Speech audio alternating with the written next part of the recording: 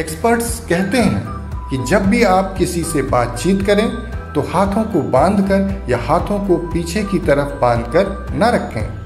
ऐसा करना low confidence को दर्शाता है और क्लोज बॉडी के रूप में देखा जाता है। ऐसे मौके पर ज़रूरी है कि आप अपनी बॉडी को ओपन मोड में रखें।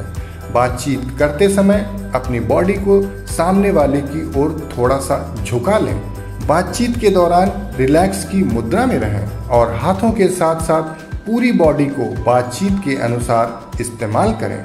इसका सबसे बेस्ट तरीका यही है कि सामने वाला व्यक्ति अपने शरीर के द्वारा जिस तरह की गतिविधियाँ करता है या जिस तरह की भंगिमा बनाता है, उसकी कॉपी करने का प्रयास करें। इससे वह व्यक्ति आपको अपने जैसा मानने लगता है और मानसिक स्तर पर आपके बेहद करीब आ जाता है।